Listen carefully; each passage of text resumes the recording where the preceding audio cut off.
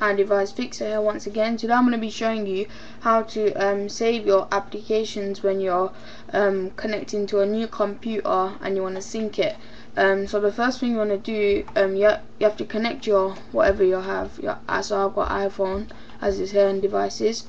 Um, first thing you want to do, you want to make sure your computer is authorized. If it's not, you have to go to Store at the top here and then you want to go to authorize this computer once you do that will tell to put your apple id in and stuff and then then it'll be authorized. Then you want to go here to your device and you want to right click it so on I'm on Mac so control and click and you want to go to transfer purchases from your device as my home is iPhone so transfer purchase from home is iPhone.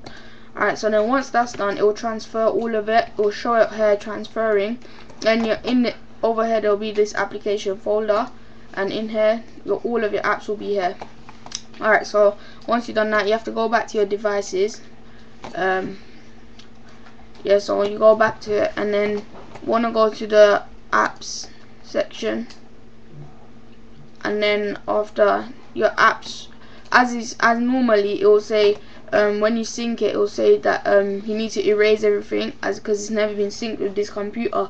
But now it's been all transferred on the computer. You just carry on. So when it says um, erase iPhone and transfer new data, just click it as it will just put the same stuff back on.